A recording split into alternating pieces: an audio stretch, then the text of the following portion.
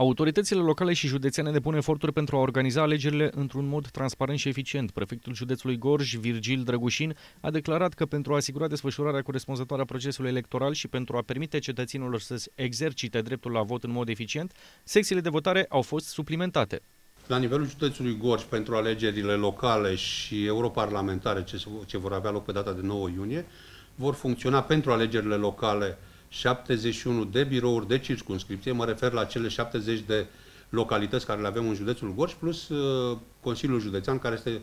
uh, pentru funcția de președinte și consilier județean, care este considerată o circunscripție separată.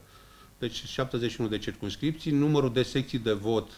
care vor fi înființate în uh, perioada imediat următoare,